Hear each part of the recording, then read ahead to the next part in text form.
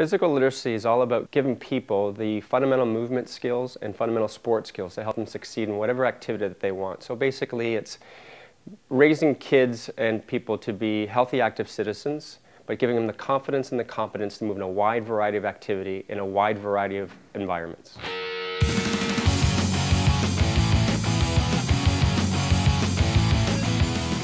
The Physical Literacy uh, Summit here in Hamilton is internationally leading in a community getting together to take the right steps.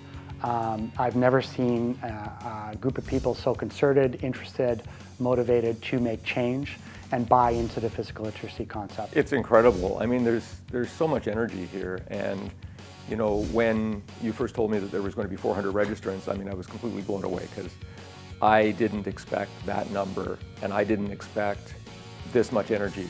And so to come and see it and to be a part of it is, is just amazing. We've always talked about making our kids healthy, but we really haven't had a lot of solutions. So bringing everybody together and talking about those solutions really is the key. The fact that we blew up this summit speaks to the fact that we do have a lot of support uh, in terms of the teachers, in terms of health, in terms of early learning, in terms of just like even students volunteering. So it's there. I think we've created a place where we can come back and hopefully every year we can come back and, and talk about our successes and, and our challenges and, and, create more solutions as we move forward. So solutionaries find solutions to problems. So putting that in the context of physical literacy, it's all of us who are just trying to make this thing happen and refusing to lose and never giving up until we see it happen for our kids and for Canada.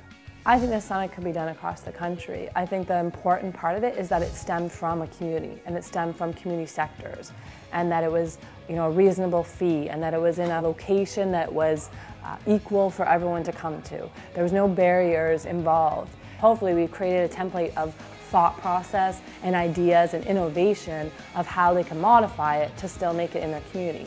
Summits have been a way to uh, bring people together to allow those champions to really energize each other, to share ideas, to spark ideas, and um, and we see the result of it here to, here today with you know hundreds of people in this community uh, talking about uh, physical literacy, and and they're going to go out of here and they're going to just be catalysts for so many great things. There is hope, and I think people realize that it is an issue that we can address positively with. Uh, with a, a multi-sectored approach.